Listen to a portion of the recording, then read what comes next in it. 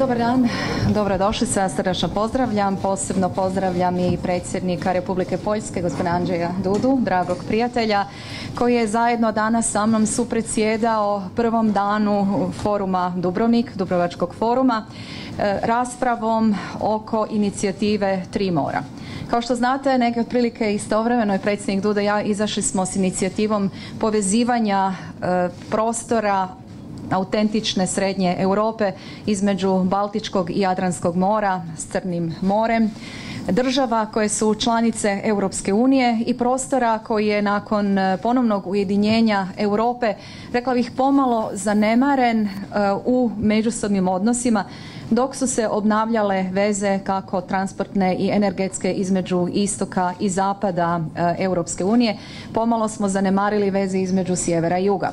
A to je naravno iznimno bitno kako zbog političke potpore jedni drugima, posebno u vrijeme kad se Europska unija suočava s brojnim izazovima od Brexita preko migrantske krize do drugih sigurnosnih, političkih i gospodarskih pitanja.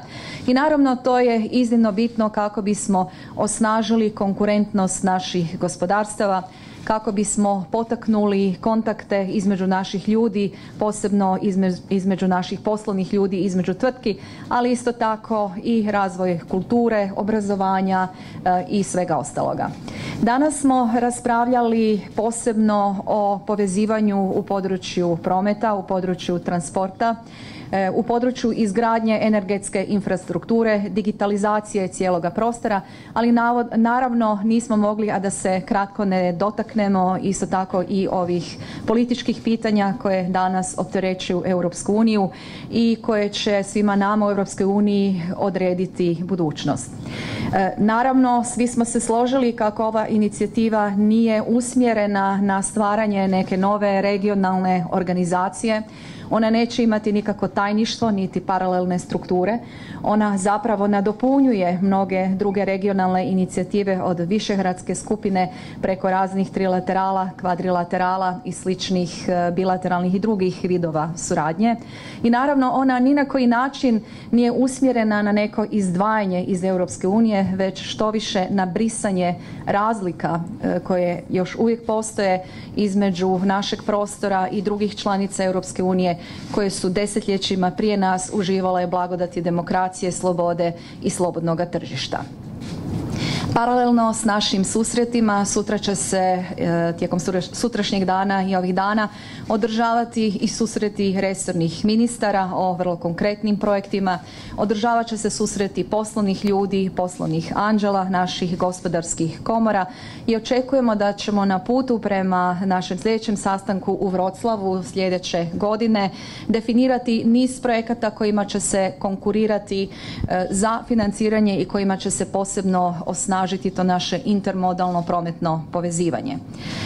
E, kao što znate, iznijela sam isto tako i prijedlog inicijativu da se u odnosu na sljedeću financijsku perspektivu Europske unije 2021. do 2027. godine izađe upravo s takvim prijedlogom da zajedno lobiramo za infrastrukturne i druge projekte kako bi se u okviru možda nekog budućeg Interreg programa koji bi obuhvaćao upravo ovaj prostor između e, triju mora, odnosno inicijative triju mora osigurala i sredstva e, iz Europske unije. Zahvaljujem danas svim kolegama na sudjelovanju, zahvaljujem svim državama koje doista iskazuju interes za ovu inicijativu i vjerujem da ćemo u budućnosti e, konkretnim programima, konkretnim projektima, ali i međusobnom političkom potporom i zajedničkom vizijom Ujedinjene Europe, Europa koja je Europa istinski jednakopravnih država, a ne različitih slojeva ili jezgre i periferije, doista pridonijeti snaženju ne samo naših vlastitih zemalja i e, prostora između Jadrana, Baltika i Crnoga mora, već i Europske unije kao takve. Hvala vam lijepa. Jeste li razgovarali o konkretnim projektima koji se tiču Republike Hrvatske? Jesmo, razgovarali smo o konkretnim projektima, iako naravno moram kazati da e, današnji naš okrugli stol bio je na političkoj razini i politička potpora upravo tim projektima. Razgovor o konkretnim projektima nastavit će resorni ministri, ali kao što sam rekla i poslovni anđeli i gospodarske komore. Kad je riječ o Republici Hrvatskoj, izdvajam dva iznimno bitna projekta za nas. Prvi je izgradnja LNG terminala na Krku. Danas nas je jedan od predsjednika podsjetio da su su Hrvatska i Poljska istovremeno donijele odluku o izgradnji svojeg LNG terminala.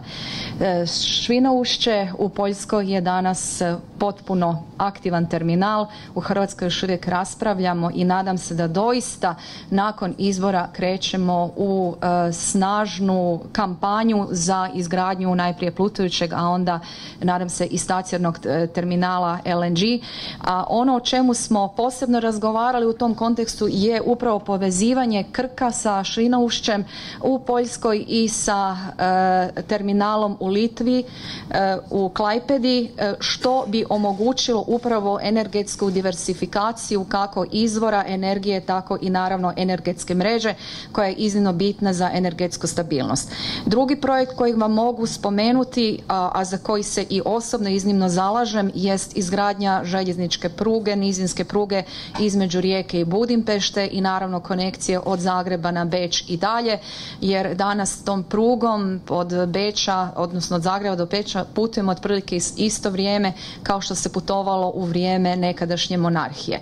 Dakle, vrlo konkretni projekti e, prometnog, infrastrukturnog povezivanja, energetskog povezivanja, ali i potrebe digitalizacije cijelog prostora. Kao što znate, u Hrvatskoj imamo još uvijek i problem sa širokopojasnim internetom. E, jedno od područja koje moramo ulagati kako bismo ne samo postigli konkurentnost gospodarstva, nego kako bismo mogli nastaviti uopće i e, raspravljati o pitanjima kao što je primjerice kurikularna reforma. Dakle, sve ono o čemu smo danas razgovarali izrazito je povezano s budućnošću prije svega naših ljudi, e, naših građana, a naravno naših gospodarstava, naših država i same Europske unije. Hvala. Paula Klajica Ulačić, Dnevnik Nove TV, pitanje za vas predsjednice.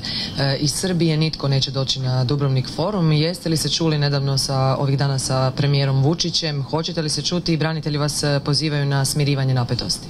Ne, ovih dana se nisam čula s premijerom Vučićem. Naravno, čuću se s njime, razgovarat ću s njime kad e, bude prigode. mislim da je predizborno doba u svakoj državi naravno doba kad je retorika pojačana, ali moram doista reći da pozdravljam ono e, izjavu branitelja da se smire napetosti i da se prestane s retorikom koja može dugoročno naškoditi odnosima između dviju država. Gospodin Vučić danas na ovaj panel nije bio pozvan zato što je bila riječ o 12 država članica Europske unije.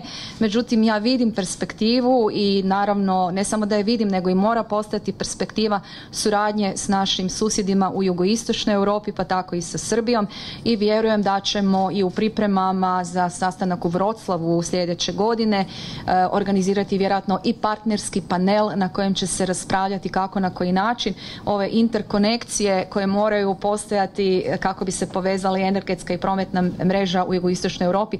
Dakle, kako e, našu suradnju iz područja e, Triju mora, inicijativu Triju mora povezati i s prostorom koji se nalazi južno i istočno od nas, a naravno čija stabilnost je u našem interesu. Hvala vam.